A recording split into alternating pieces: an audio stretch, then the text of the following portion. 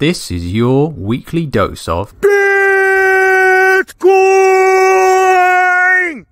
And I agree with what Chairman Powell said last week that the number one threat is the strength, and- and and that strength that we built is inflation. What a stupid son of a bitch. So, it's been a mostly peaceful week.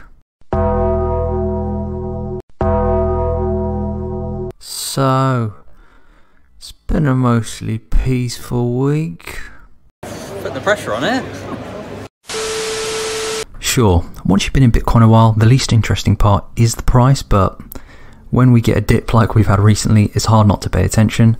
And that's just why you have to remember to kind of keep a cool head. Good. It's also been a really great time to remind yourself of why Bitcoin and crypto really aren't the same thing. Okay, Danny. So what's the difference between Bitcoin and crypto? Bitcoin has a uh, is a solution to a real world problem, whereas crypto is a uh, solution seeking a problem and just trying to separate people from their, their money. Whereas Bitcoin separates state and money. Thankfully, a lot more people are verifying Bitcoin for themselves. Oh, El Salvador also building a Bitcoin city.